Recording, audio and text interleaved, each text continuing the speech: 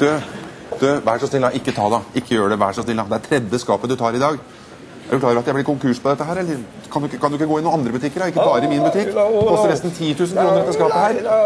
Kan du betale for bare det ene skapet, vel, du? Vær så snill, da. Vær så. Du, du kan få lov å betale det over to år hvis du vil. Avdrag uten egenandel. Du, vær så snill.